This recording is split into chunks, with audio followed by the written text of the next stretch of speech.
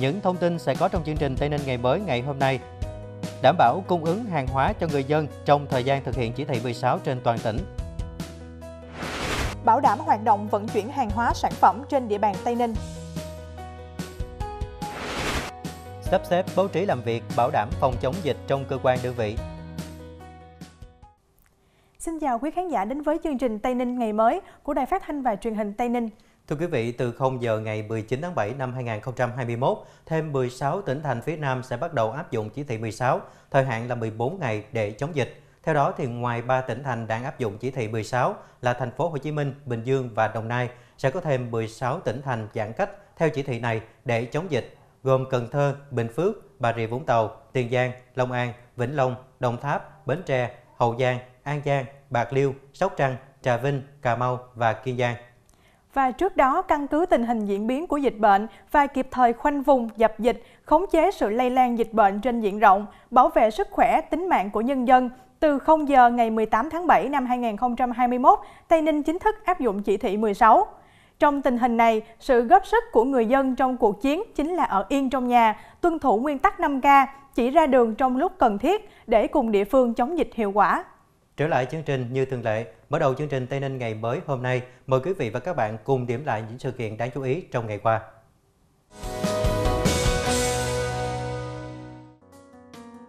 Kể từ 0 giờ ngày 18 tháng 7, Tây Ninh bắt đầu thực hiện giãn cách xã hội theo chỉ thị 16 của Thủ tướng Chính phủ nhằm phòng chống dịch Covid-19. Trong ngày đầu tiên thực hiện giãn cách xã hội, hầu hết người dân đều tuân thủ và hoan nghênh chính quyền đã kịp thời triển khai biện pháp mạnh, không để cho dịch có cơ hội lây lan. Chỉ còn một ít trường hợp chưa thực hiện đúng việc giữ khoảng cách 2 mét như quy định, nhất là khi tập trung mua thuốc tây hay như ở chợ, tiệm tạp hóa. Tình trạng như thế này là rất đáng lo ngại.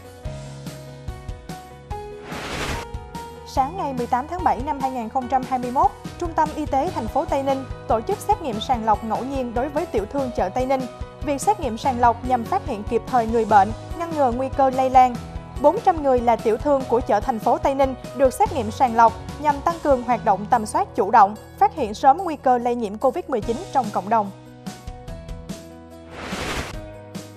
Cũng trong ngày 18 tháng 7, Ủy ban Nhân dân thị xã Trảng Bàng tổ chức lấy mẫu xét nghiệm sàng lọc COVID-19 ngẫu nhiên đối với lực lượng đang làm nhiệm vụ kiểm soát dịch bệnh COVID-19 và người dân trên địa bàn. Theo đó, các cán bộ chiến sĩ, người dân được lực lượng y tế lấy mẫu xét nghiệm, kiểm tra nhanh, sàng lọc, đánh giá mức độ xâm nhập của dịch bệnh COVID-19 để có các phương án, tình huống đối phó nếu dịch bệnh xảy ra trên diện rộng.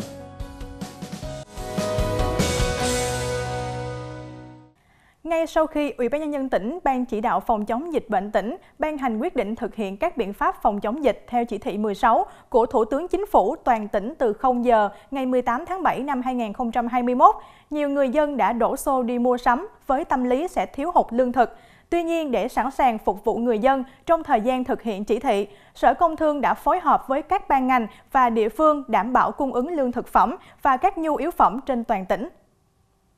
Theo báo cáo của Sở Công Thương, đến nay tình hình dự trữ hàng hóa, bình ổn thị trường trên toàn tỉnh vẫn đang được ổn định. Theo khảo sát thực tế của Sở Công Thương, tỷ lệ cung ứng hàng hóa và đảm bảo công tác phòng chống dịch tại các hệ thống siêu thị, bách hóa xanh vẫn đạt từ 90 đến 96%. Tuy nhiên, tại các chợ vẫn còn tình trạng khan hiếm hàng hóa, chủ yếu là các mặt hàng khô, rau củ, giá các mặt hàng này cũng tăng từ 15 đến 20%. Sở cũng đã chuẩn bị các phương án sẵn sàng điều phối các khu vực đầu mối, đảm bảo nguồn cung ứng hàng hóa cho người dân. Ủy ban Nhân dân tỉnh vừa ban hành công văn số 2378 về việc bảo đảm hoạt động vận chuyển hàng hóa, sản phẩm trên địa bàn tỉnh Tây Ninh trong thời gian thực hiện giãn cách xã hội, phòng chống dịch COVID-19 theo chỉ thị 16 của Thủ tướng Chính phủ trên địa bàn tỉnh từ 0 giờ ngày 18 tháng 7 năm 2021. Theo đó, để đảm bảo hoạt động vận chuyển hàng hóa, sản phẩm lưu thông thông suốt trên địa bàn tỉnh, Chủ tịch Ủy ban nhân dân tỉnh yêu cầu Chủ tịch Ủy ban nhân dân các huyện, thị xã, thành phố chỉ đạo các lực lượng chức năng tạo điều kiện thuận lợi cho các phương tiện vận chuyển hàng hóa, nông sản lưu thông thông suốt giữa các địa phương trong tỉnh, không buộc lái xe phải có giấy xét nghiệm âm tính với COVID-19, chỉ thực hiện việc kê khai y tế, lịch trình di chuyển và lưu số điện thoại để liên hệ khi cần thiết. Đối với các phương tiện vận chuyển hàng hóa từ các tỉnh, thành phố vào Tây Ninh, tiếp tục thực hiện việc kiểm tra, kiểm soát như hiện nay. Thưa quý vị, hiện nay tình hình dịch Covid-19 trên địa bàn tỉnh đang có diễn biến phức tạp. Tây Ninh đã áp dụng các biện pháp giãn cách xã hội theo chỉ thị số 16 của Thủ tướng Chính phủ. Để góp phần thực hiện có hiệu quả mục tiêu của công tác vừa phòng chống dịch COVID-19, vừa phát triển kinh tế xã hội, Sở Công Thương đã thông báo một số nhóm hàng hóa và loại hình kinh doanh, dịch vụ thiết yếu được phép thực hiện trong thời gian thực hiện các biện pháp giãn cách xã hội trên địa bàn tỉnh như sau. 1. Đối với các siêu thị, chợ dân sinh, các cửa hàng tiện lợi, tiện ích chỉ kinh doanh các mặt hàng thiết yếu gồm hàng thực phẩm tươi sống, thịt, thủy sản, rau củ quả, trái cây, trứng, các sản phẩm từ các loại vừa liệt kê, hàng công nghệ phẩm, bánh, kẹo, muối, bột nêm, gia vị, nước mắm, đường, dầu thực vật, sữa các loại, nước uống, nước ngọt đóng chai, lon, thùng, mì gói các loại và một số mặt hàng lương thực, thực phẩm khác phục vụ nhu cầu tiêu dùng thiết yếu hàng ngày của người dân. Lương thực, gạo tẻ, gạo nếp, vừng, đậu, ngô, khoai, sắn, bột, tinh bột, các sản phẩm từ bột, tinh bột, các nhu yếu phẩm cần thiết, khẩu trang, sản phẩm dùng để tẩy rửa, diệt côn trùng, vệ sinh cá nhân, nước kháng khuẩn, giấy vệ sinh, các mặt hàng kim khí điện máy phục vụ các hoạt động của gia đình, nhà máy, cơ sở sản xuất kinh doanh, vật tư ngành điện dân dụng, công nghiệp, nông nghiệp, điện tử, vật tư ngành nước, vật tư nguyên liệu xây dựng. 2. Các cơ sở kinh doanh hàng hóa, dịch vụ được phép hoạt động gồm siêu thị, chợ dân sinh, cửa hàng tiện lợi, tiện ích, cửa hàng tạp hóa, cửa hàng kinh doanh trái cây, chuỗi cửa hàng kinh doanh nông sản, thực phẩm, chỉ kinh doanh các mặt hàng thiết yếu. Các cơ sở dịch vụ khám chữa bệnh thực hiện theo hướng dẫn của Bộ Y tế và Sở Y tế, các cửa hàng kinh doanh thiết bị y tế, thuốc chữa bệnh, cửa hàng kinh doanh xăng dầu, ga, khí đốt, thức ăn chăn nuôi, thuốc bảo vệ thực vật, thuốc thú y, vật tư sản xuất nông nghiệp, phân bón, hạt giống, nguyên nhiên vật liệu phục vụ sản xuất công nghiệp, dịch vụ bưu chính, viễn thông, truyền hình các cơ sở kinh doanh dịch vụ trực tiếp liên quan trực tiếp đến hoạt động ngân hàng, thanh toán điện tử, xuất nhập khẩu hàng hóa, dịch vụ hỗ trợ doanh nghiệp như công chứng, luật sư, đăng kiểm, đăng ký giao dịch, bảo đảm, tư vấn hỗ trợ doanh nghiệp, hỗ trợ vận chuyển, bảo vệ, dịch vụ tang lễ, nghĩa trang, dịch vụ thu gom, vận chuyển rác thải và xử lý môi trường. Các dịch vụ sửa chữa phương tiện vận tải, sản xuất điện nước, sửa chữa nhà cửa, kho hàng hóa, xưởng sản xuất, khi thực hiện giao dịch các loại hình kinh doanh dịch vụ nêu trên, cần hạn chế di chuyển, đảm bảo thực hiện nghiêm các biện pháp phòng chống dịch theo yêu cầu và hướng dẫn của ngành y tế. Riêng các chợ dân sinh, siêu thị cần thực hiện nghiêm việc phân luồng ra vào hợp lý, hướng dẫn kiểm soát việc mua sắm, thanh toán, đảm bảo khoảng cách theo quy định. Thưa quý khán giả, để tăng cường các biện pháp phòng chống dịch trên địa bàn tỉnh, theo tinh thần công văn số 2248 ngày 8 tháng 7 năm 2021 của Quỹ ban nhân dân tỉnh, Sở Y tế đề nghị các đơn vị triển khai thực hiện những nội dung như sau. Giao Trung tâm Y tế các huyện, thị xã, thành phố chỉ đạo các trạm y tế xã, phường, thị trấn phối hợp thực hiện giám sát quá trình thực hiện test nhanh kháng nguyên COVID-19 của các công ty, khu công nghiệp, khu chế xuất, gọi tắt doanh nghiệp đối với trường hợp là công nhân, chuyên gia, người lao động của công ty, nguồn test của doanh nghiệp, cấp giấy xác nhận xét nghiệm âm tính cho công nhân, chuyên gia, người lao động ngoài tỉnh đi về trong ngày qua các cửa ngõ khi được yêu cầu. Nếu các doanh nghiệp không có nhân lực y tế, có thể thuê các cơ sở y tế tư nhân có năng lực và tư cách pháp nhân hoặc trạm y tế xã có thể hỗ trợ một phần. Thưa quý vị, để bảo đảm phòng chống dịch COVID-19 an toàn trong cơ quan đơn vị, bảo vệ sức khỏe cán bộ, công chức, viên chức, người lao động phục vụ công tác được liên tục, Chủ tịch Ủy ban Nhân dân tỉnh Tây Ninh yêu cầu. Các cơ quan đơn vị xây dựng kế hoạch phòng chống dịch COVID-19 trong cơ quan đơn vị hiệu quả phù hợp, đẩy mạnh ứng dụng công nghệ thông tin trong hoạt động, sắp xếp bố trí luân phiên 50% cán bộ công chức làm việc tại nhà, trường ngành y tế, lực lượng vũ trang và các đơn vị đảm bảo các hoạt động thiết yếu yêu cầu cán bộ, công chức, viên chức, người lao động gương mẫu và vận động người thân gia đình thực hiện nghiêm túc các chỉ đạo của Ủy ban Nhân dân tỉnh, cụ thể tại công văn số 2375 ngày 17 tháng 7 năm 2021 của Ủy ban Nhân dân tỉnh. Các sở ngành có liên quan, Ủy ban Nhân dân các huyện, thị xã, thành phố căn cứ nội dung chỉ đạo trên để thực hiện.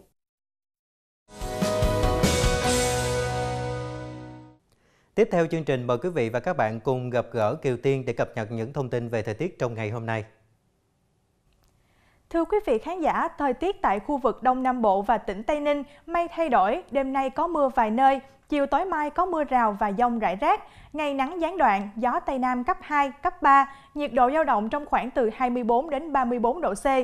Thưa quý vị, dịch bệnh COVID-19 đang diễn biến phức tạp. Bên cạnh các biện pháp phòng dịch đã được khuyến cáo, thì việc bảo vệ sức khỏe bằng cách tăng cường hệ miễn dịch là một giải pháp được xem như hàng rào tự vệ để hỗ trợ phòng ngừa và đủ sức chống chọi với sự xâm nhập của virus. Chúng ta cũng có thể nâng cao sức đề kháng bằng nhiều cách, trong đó chế độ dinh dưỡng cân bằng, đảm bảo không bị thiếu hụt các dưỡng chất thiết yếu chính là chìa khóa cung cấp đủ các nhóm dưỡng chất cho cơ thể, bao gồm chất đạm, chất béo, chất đường bột, vitamin, chất khoáng, nước và chất xơ. Trong đó cần lưu ý đến việc tăng cường bổ sung chất đạm bởi chất đạm cung cấp các axit amin là nguyên liệu cho cơ thể sản xuất các tế bào của hệ thống miễn dịch. Hy vọng những thông tin vừa rồi sẽ bổ ích cho quý vị và gia đình của mình. Còn bây giờ, mời quý vị theo dõi những nội dung tiếp theo của Tây Ninh ngày mới. Trong ngày hôm nay 19 tháng 7 năm 2021, trên TTV11 sẽ có nhiều chương trình hay dành cho quý vị, trong đó có những chuyên mục như Tây Ninh xây dựng nông thôn mới, khoa học công nghệ và đời sống. Là một trong 10 xã phấn đấu hoàn thành chương trình mục tiêu quốc gia về xây dựng nông thôn mới trong năm 2021 trên địa bàn tỉnh, hiện nay xã Hiệp Thạnh, huyện Gò Dầu đang tập trung mọi nguồn lực để đầu tư, xây dựng kết cấu hạ tầng đồng bộ, nhất là lĩnh vực giao thông, trường học, cơ sở vật chất văn hóa. Quá trình xây dựng nông thôn mới tại xã Hiệp Thạnh hiện nay ra sao? Nội dung này sẽ được cập nhật đầy đủ trong chương trình Tây Ninh xây dựng nông thôn mới, phát sóng vào lúc 11 giờ 15 phút thứ hai ngày 19 tháng 7 năm 2021. Mời quý vị và các bạn chú ý theo dõi. Theo Nghị định 13 năm 2019 của Chính phủ, để được chứng nhận là doanh nghiệp khoa học công nghệ, thì các kết quả khoa học và công nghệ của doanh nghiệp phải được hình thành từ nhiệm vụ khoa học và công nghệ đặc biệt, có tầm quan trọng đối với phát triển kinh tế xã hội. Kính mời quý vị khán giả và các bạn cùng đón xem chuyên mục Khoa học công nghệ và đời sống phát sóng lúc 16 giờ 50 phút ngày 19 tháng 7 năm 2021 trên kênh TTV11 và trên các hạ tầng YouTube, fanpage, website chính thức của Đài Phát thanh Truyền hình Tây Ninh. Quý khán giả thân mến, sau đây chúng ta sẽ cùng đến với những thông tin về các chương trình giải trí sẽ được phát trên TTV11 trong ngày hôm nay. 200 ngàn. À, bốn bốn bốn hai trăm ngàn hai hũ bốn trăm hả? Trời đất ơi kem đánh răng người ta đánh có ba chục ngàn à bà nội. Chú là khách quen, giảm cho chú 5 ngàn. Mua mỹ phẩm trôi nổi, không biết nguồn gốc, xuất xứ. Sự kém hiểu biết của ông Đức đã gây ra hậu quả nghiêm trọng gì? Mời quý vị tiếp tục theo dõi tập 71 trong series phim sitcom Những đứa con từ trên trời rơi xuống Được phát sóng vào lúc 6 giờ 45 phút và 22 giờ 35 phút. Anh nói gì vậy? Em và anh Nhân làm gì sau lưng anh làm sao? Ông đừng bao giờ nhắc chữ bạn ở đây. Bây giờ anh nghĩ cái gì đó là chuyện của anh? Đón xem chuyện tình không thể ngờ tới của Minh Hằng và Quốc Hùng trong tập 23 của bộ phim Giọt nước mắt hận thù được phát sóng lúc 12 giờ. Hơn 40 cái tên, nhưng quý phi đúng là trí nhớ rất tốt. Tất cả tên trong danh sách đều ghi nhớ gần như đầy sau khi coi xong Trước nhiệm vụ mà Thái hậu giao phó là ngăn cản mua đồ tạo phản, làm cốt nhục tổn thương của trưởng công chúa và quản định vương. Lương Di có thể làm được gì? Đón xem tiếp diễn biến ở tập 21 của bộ phim Truyền thuyết Phượng Hoàng phát sóng vào lúc 17 giờ. Anh Đào à, Mày không sao chứ? Mày ngồi yên coi anh Đào Để tao coi thử tay của mày đã khỏi chưa? Không sao rồi bảo bối Không sao. Nhanh khỏe nha. Không sao đâu Đừng làm tao lo lắng đó Biết chưa? Ngoan. Chứng kiến tình cảm của Đỗ Phi dành cho anh Đào liệu có phải là lý do để Lý Thụ Hoàng tha thứ cho Đỗ Mặt Lạnh? Mời quý vị cùng đón xem tiếp diễn biến vô cùng hấp dẫn bất ngờ và gây cấn ở tập 17 của bộ phim Nữ Cảnh sát và Cảnh Khuyển. Phim sẽ được phát sóng độc quyền trên TTV11 vào lúc 20 giờ 5 phút và kênh YouTube chính thống của Đài Phát thanh Truyền hình Tây Ninh. Quý vị đừng quên nhắn tin trả lời câu hỏi sau mỗi tập phim của chương trình, đồng hành cùng phim giờ vàng để có cơ hội nhận được giải thưởng vô cùng hấp dẫn. Thưa quý vị, Olympic Tokyo đã ở rất gần và đây là thời điểm các đội bóng đá nam đã chốt danh sách gửi lên ban tổ chức. Đáng chú ý nhất là Olympic Ai Cập khi đội bóng này không có được sự phục vụ của những cái tên tốt nhất do sự kiên quyết của các câu lạc bộ. Theo quy định, các câu lạc bộ không bắt buộc phải nhả cầu thủ vì các trận đấu thuộc Olympic không có lịch thi đấu chính thức của FIFA. Điều đó có nghĩa rằng Liverpool được quyền từ chối yêu cầu dự Olympic của Salah cũng như Liên đoàn bóng đá Ai Cập. Đội chủ sân Anfield mới đây đã đưa ra thông báo rằng họ sẽ không chấp thuận để Salah dự giải đấu tại Nhật Bản, bởi điều này khiến họ mất tiền đạo người Ai Cập trong giai đoạn đầu của mùa giải mới. Olympic Tokyo sẽ kết thúc vào ngày 7 tháng 8, đúng một tuần trước khi ngoại hạng Anh khởi tranh. Việc Liverpool giữ chân Salah cũng bắt nguồn từ yêu cầu của huấn luyện viên Jurgen Klopp nhà cầm quân người Đức khẳng định ông muốn đảm bảo cho cậu học trò cưng được sung sức nhất trước mùa giải mới. Cách đây ít ngày, hàng loạt các tờ báo uy tín ở Tây Ban Nha cũng như châu Âu đưa tin Barcelona đã giữ chân thành công Messi bằng bản hợp đồng lên tới 5 năm. Siêu sao 34 tuổi thậm chí đã đồng ý giảm tới 50% lương trong bối cảnh câu lạc bộ xứ Catalonia đang phải gánh khoản nợ khổng lồ lên tới 1 tỷ bảng Anh. Nhưng ngay cả khi bị cắt giảm một nửa lương, Messi vẫn là cầu thủ được trả lương cao nhất thế giới. Theo đó, Messi dẫn đầu với mức lương 1,2 triệu bảng một tuần nếu bản hợp đồng mới của anh đúng như truyền thông đưa tin trong những ngày qua. Xếp ở vị trí thứ hai là Ronaldo với mức lương 900.000 bảng một tuần ở Juventus. Neymar đứng ở vị trí thứ ba, tiền đạo người Brazil đang kiếm được 606.000 bảng mỗi tuần ở Paris Saint-Germain. Một trong những nguyên nhân khiến Barcelona rơi vào tình trạng nợ nần chồng chất đến từ quỹ lương. Câu lạc bộ xứ Catalonia hiện đang là đội bóng có quỹ lương cao nhất thế giới. Nếu như Messi đứng ở vị trí thứ nhất thì Anton Redman lọt vào top 5 với mức lương 575.000 bảng một tuần. Quý vị và các bạn thân mến, những thông tin thể thao cập nhật khác sẽ có trong bản tin thể thao lúc 13 giờ 30 phút trên kênh TTV11. Những thông tin vừa rồi cũng đã khép lại chương trình Tây Ninh ngày mới của TTV11 ngày hôm nay. Cảm ơn quý vị đã quan tâm theo dõi. Đừng quên đón xem chương trình Tây Ninh ngày mới được phát vào lúc 6 giờ 30 phút hàng ngày. Quý vị có thể xem trực tuyến trên website tây ninh tv.vn, xem lại chương trình trên kênh YouTube truyền hình Tây Ninh hoặc cả ứng dụng Tây Ninh TV để có thể xem chương trình ở bất cứ đâu. Còn bây giờ, Mạnh Tiến và Kiều Tiên xin chào và hẹn gặp lại.